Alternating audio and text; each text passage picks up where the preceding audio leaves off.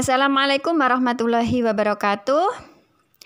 Pada video kali ini kita bertemu lagi dalam segmen Ayo Belajar. Nah, pada segmen Ayo Belajar ini kita akan membahas tentang dana pensiun. Indahnya masa tua berkat dana pensiun.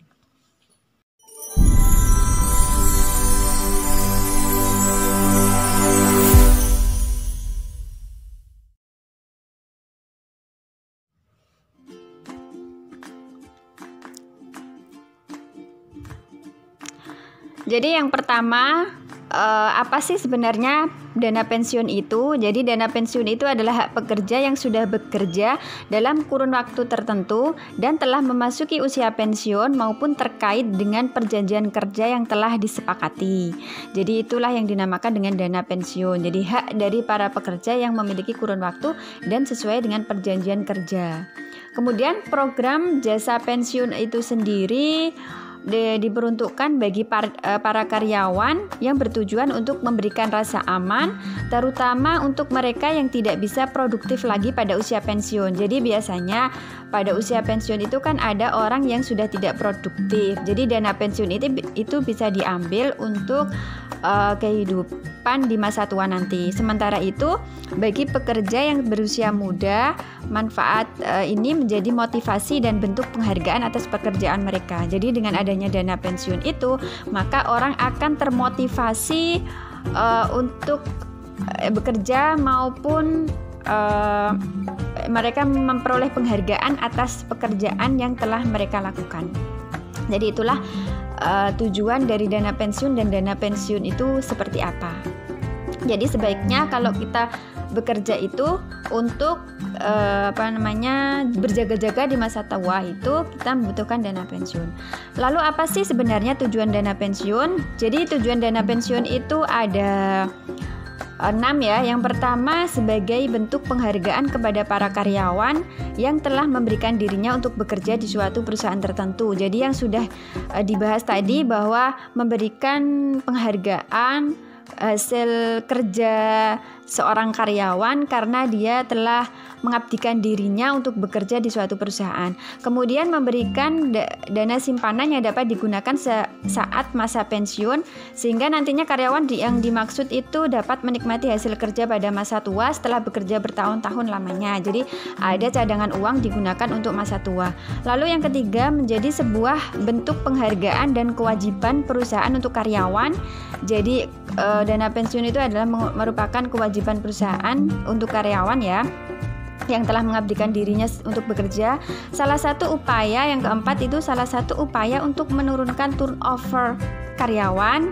Kemudian yang kelima menjadi salah satu motivasi bagi karyawan agar dapat melakukan tugasnya dengan semangat dan penuh tanggung jawab. Nah, tadi kan salah satu tujuan dari dana pensiun adalah memberikan motivasi supaya seorang karyawan itu uh, dalam melakukan tugasnya itu selalu semangat dan penuh tanggung jawab. Oh iya, saya akan bekerja keras karena saya memiliki dana pensiun gitu ya. Lalu yang keenam adalah meningkatkan image dan reputasi perusahaan terhadap uh, masyarakat dan pemerintah. Nah, seperti itu. Jadi uh, meningkatkan image perusahaan. Oh, ini loh, perusahaan ini itu telah mengikut sertakan karyawannya dalam program dana pensiun. Nah, uh, yang merupakan program andalan dari pemerintah. Nah, seperti itu. Jadi ada enam tujuan dari dana pensiun yang uh, akan memberikan kebermanfaatan baik bagi karyawan um, ataupun bagi perusahaan maupun dari pihak-pihak yang uh, berkepentingan atau yang apa namanya itu yang mengelola dana pensiun tersebut.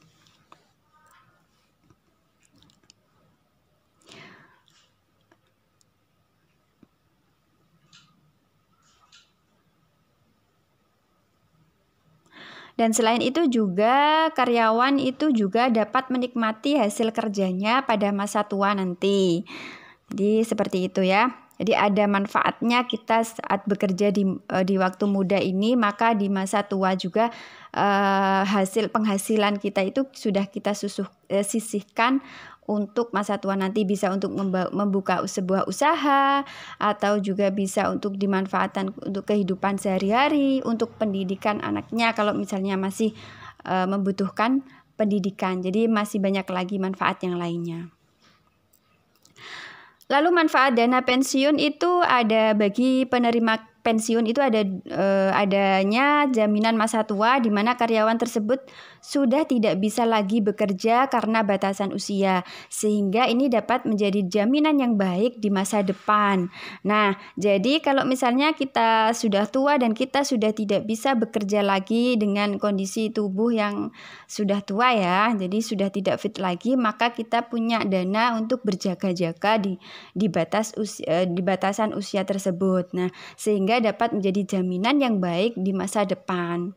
Kemudian yang kedua ada memberikan jaminan di masa tua serta meningkatkan motivasi dalam bekerja karena adanya tujuan yang harus diraih. Nah, seperti yang sudah dijelaskan tadi bahwa dana pensiun itu dapat memberikan atau meningkatkan motivasi dalam bekerja bagi karyawan ya, bagi penerima pensiun lah pastinya. Penerima pensiun penerima pensiun itu kan uh, pekerja pastinya ya. Dia pasti bekerja dan seorang karyawan. Nah, uh, dan mereka pasti memiliki tujuan yang harus diraih. Nah, seperti itu. Jadi uh, manfaatnya bisa bagi penerima pensiun, nanti ada juga bagi pengelola dana pensiun tersebut. Nah, seperti itu.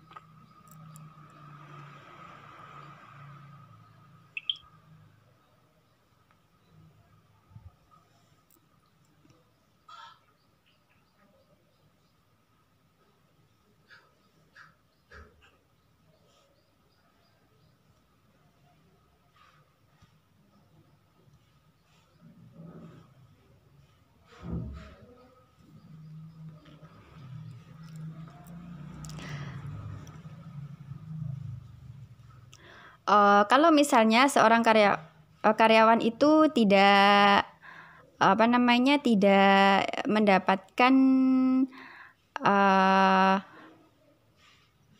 dana pensiun dari perusahaan dia bisa mengajukan sendiri uh, untuk pribadi ya. Jadi ada lembaga-lembaga keuangan itu menyediakan dana pensiun seperti bank. Lalu untuk tujuan dana pensiun bagi pengelola itu satu, menjadi sebuah kegiatan yang berguna untuk mengelola serta memperoleh keuntungan dari berbagai kegiatan investasi yang dilakukan. Jadi dana pensiun dana pensiun itu digunakan untuk investasi bagi pengelola ya. Jadi uh, kalau kita menanamkan dana pensiun di suatu lembaga keuangan, maka dana tersebut dapat digunakan sebagai investasi. Jadi sama halnya seperti investasi. Bisa digunakan untuk kegiatan investasi yang lain, bisa digunakan untuk kegiatan usahanya dan bisa kalau di bank biasanya dipinjamkan gitu ya. Nah, dari dana pensiun itu maka akan memperoleh jasa jasa investasi, contohnya jasa dana pensiun gitu ya. Kemudian menjadi sebuah dukungan yang ditunjukkan kepada ditujukan kepada program pemerintah yang sedang dijalankan. Jadi seperti yang sudah dijelaskan tadi bahwasanya akan mendukung e, menunjukkan bahwa kita itu mendukung program pemerintah yang sedang dijalankan. Jadi seperti itu. Maka dari itu dana pensiun itu sangat digalakkan. Nah, Tujuannya tadi supaya ketika di masa tua itu kita masih punya cadangan dana di, yang dapat digunakan dalam uh, apa kehidupan ketika sudah mencapai batas produktif uh, seseorang dalam bekerja. Jadi orang itu kan kadang memiliki uh, apa namanya batas produktif ya pada usia 60 60 60 ke atas. Nah, seperti itu. Kemudian dana pensiun memiliki kelebihan dan kekurangan. Jadi kelebihan dana pensiun itu jumlah uang pensiun itu akan ditentukan dengan gaji karyawan sehingga nantinya bekerja sendiri yang dapat menentukan kompensasi yang akan diterima pada masa tua. Jadi kelebihannya seperti itu. Jumlah uang pensiun itu dapat ditentukan melalui gaji karyawan tersebut. Hmm. Jadi nantinya kan bekerja sendiri itu dap, uh, sehingga nantinya bekerja sendiri yang dapat menentukan kompensasi yang akan diterima di masa tua. Jadi kita tahu kompen, berapa kompensasi yang akan kita terima nanti di masa tua. Lalu yang kedua adalah menjadi suatu akomodasi bagi para pekerja yang telah melakukan loyalitas bagi perusahaan tersebut. loyalitas itu adalah uh, kesetiaan ya, loyalitas bagi perusahaan seperti itu. Kemudian kelemahan dana pensiun juga ada dua. Uh, resiko hanya ditanggung oleh perusahaan dengan syarat dan ketentuan yang berlaku. Jadi maksudnya di sini jika ada resiko kerugian uh, terhadap pengelola perusahaan tersebut, uh, maka maka uh, yang resiko yang menanggung itu adalah perusahaan ya dengan syarat dan ketentuan yang sudah berlaku di awal seperti itu. Kemudian merupakan program yang sulit dikelola dari sisi administratifnya. Nah, menurut pengelola jadi uh, program ini itu sulit dikelola uh, dari segi administrasi maupun uh, segi yang lainnya ya karena memang dana pensiun itu kan dana cadangan uh, di dana cadangan untuk karyawan di masa yang uh, ketika besok di masa tua seperti itu. Jadi ada dua kelebihan dan dua kelemahan. Jadi dana pensiun itu meskipun ada kelebihannya pasti ada kelemahannya. Dalam setiap kegiatan pasti ada segi positifnya dan segi negatifnya sama ya.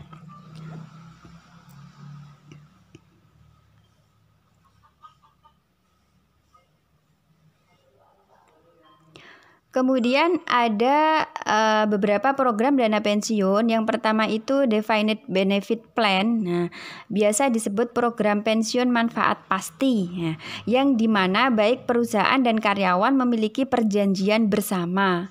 Nah, uang pensiun yang ada akan dipotong dari gaji karyawan selama masih bekerja serta dana dari perusahaan.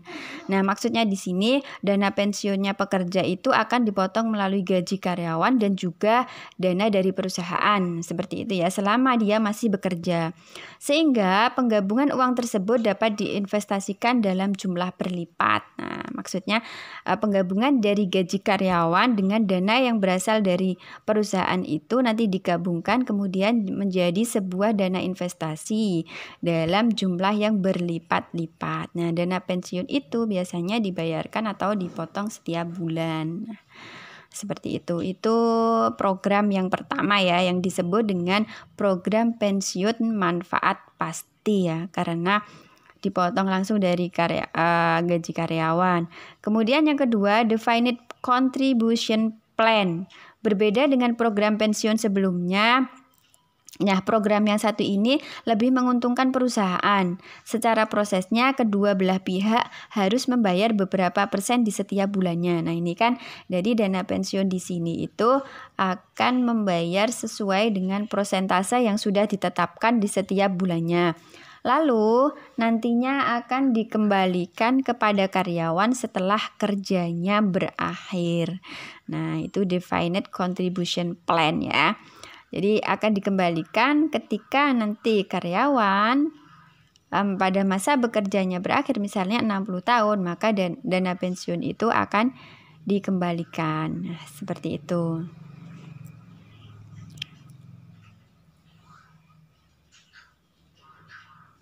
Jadi ada tiga ya, tiga jenis dari dana pensiun. Eh, ada dua ya, maaf ya, maaf maaf, salah bicara.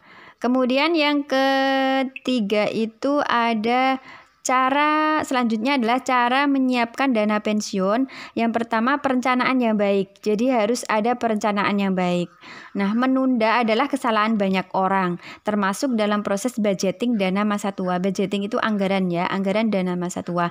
Karena alasan banyaknya pengeluaran atau dianggap belum penting sehingga banyak yang tidak memikirkan hal ini hingga waktu pensiun itu tiba. Nah, kadang-kadang orang itu menunda-nunda alah masih lama kan begitu ya. Jadi uangnya dananya sekarang saya pakai untuk yang lainnya dulu. Pengeluaran saya masih banyak. Nah, tiba-tiba tidak terasa pengeluaran-pengeluaran terus tidak terasa maka usia kita sudah mendekati masa pensiun dan dananya uh, tinggal sedikit begitu ya. Nah, akhirnya ya tidak ada dana untuk pensiun tersebut. Jadi mulai sekarang jangan ditunda kalau kita sudah bekerja gitu ya. Kemudian cek gaya hidup. Pada usia muda kadang-kadang orang mungkin cenderung memikirkan apa yang menjadi keinginan dan cenderung berfokus pada gaya hidup. Nah, sama ya. Kadang-kadang orang kalau masih muda berarti gaya hidupnya itu masih menginginkan banyak ya. Ingin ini, ingin itu ya seperti itu. Untuk itu, mulai sekarang cobalah untuk melakukan pencegahan dengan gaya hidup yang lebih sederhana dan berfokus pada masa depan.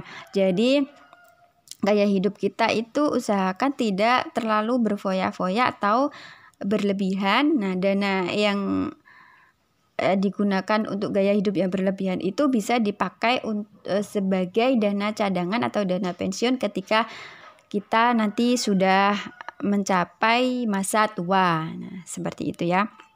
Jadi harus ada perencanaan, kemudian ada cek gaya hidup, kemudian yang terakhir adalah buat prioritas. Jadi masukkan pengeluaran dalam beberapa kategori seperti pengeluaran untuk kesehatan di mana sangat penting karena meskipun uh, kita itu telah memiliki asuransi biaya perawatan kini makin meningkat sehingga harus diperhitungkan jauh-jauh hari. Nah, seperti itu ya. Kemudian selain kesehatan, siapkan juga budget untuk perawatan rumah, kendaraan yang juga terbilang cukup besar. Dengan merencanakan sejak dini, maka akan dapat menanggulangi hal-hal yang tidak diinginkan. Nah, seperti itu. Jadi, eh, yang pertama tadi perencanaan yang baik, kemudian cek gaya hidup, kemudian buatlah prioritas kebutuhan mana yang paling penting sehingga eh, kehidupan kita nanti akan berjalan dengan baik jadi seperti itu. Nah, itu tadi bagaimana cara supaya eh, bagaimana cara melaksanakan kegiatan dana pensiun. Jadi, kemudian ada jenis dana pensiun. Yang pertama itu pensiun normal.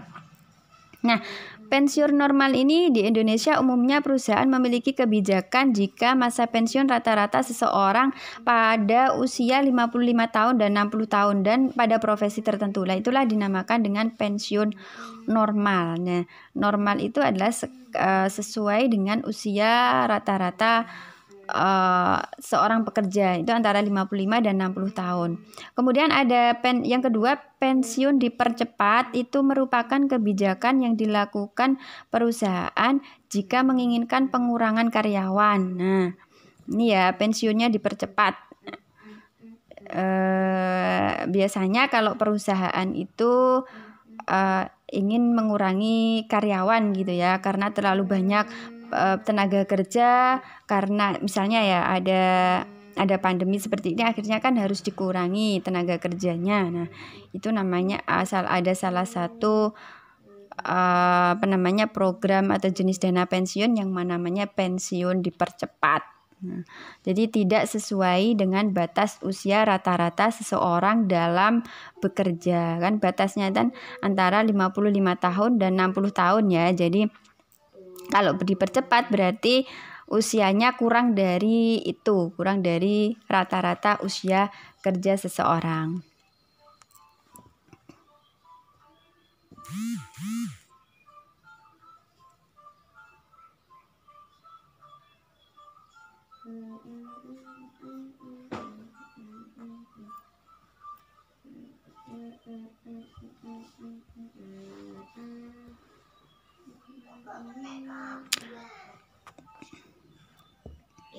Lalu selanjutnya ada pensiun ditunda. Jadi yang ketiga adalah pensiun ditunda dilakukan atas permintaan karyawan, bukan karena usia pensiun. Namun karyawan tersebut sudah berhenti bekerja sehingga dana pensiun miliknya akan baru keluar pada masa umur karyawan ini telah memasuki masa pensiun. Nah, itulah. Nah, jadi mas eh, pensiun ditunda itu atas permintaan karyawannya sendiri ya, bukan karena usia pensiun. Namun karyawan tersebut uh, sudah berhenti bekerja sehingga Dana pensiun miliknya itu ak baru akan keluar pada masa umur karyawan ini telah memasuki masa pensiun. Lalu yang keempat, pensiun cacat. Nah, diberikan pada karyawan yang mengalami kecelakaan atau dianggap tidak mampu dipekerjakan se seperti sedia kala. Nah, dana ini bisa diambil meskipun belum memasuki usia kerja gitu ya. Jadi belum memasuki masa pensiun. Nah, jadi boleh. Nah, karena e, pensiun ini dikarenakan karyawan tersebut mengalami kecelakaan dan mengalami cacat tubuh. Nah, sehingga e, dia sudah tidak dianggap dipek, eh, sudah tidak mampu lagi dipekerjakan seperti sedia kala. Nah, ada program ya yang namanya yaitu pensiun cacat bagi karyawan yang memang mengalami kecacatan tubuh. Nah, jadi sebenarnya sebenarnya banyak sekali jenis-jenis dana pensiun yang bisa diikuti ya. Jadi ada jenisnya sesuai dengan kebutuhan setiap manusia. Nah, pasti kebutuhan setiap manusia atau kondisi setiap manusia itu kan berbeda-beda. Jadi uh, dana pensiun itu di, diperuntukkan bagi karyawan-karyawan tersebut. Oke, indahnya masa tua dengan dana pensiun. Nah, jadi cukup eh, sekian pada video kali ini. Semoga bermanfaat uh, materi pada video kali ini. Terima kasih. Wassalamualaikum warahmatullahi wabarakatuh.